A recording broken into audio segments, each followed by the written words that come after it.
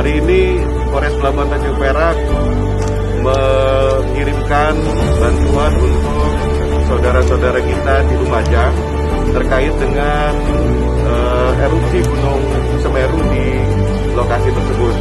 Mudah-mudahan uh, sedikit dari Polres Pelabuhan Tanjung Perak dapat bermanfaat dan dapat membantu rekan-rekan saudara-saudara kita di Lumajang.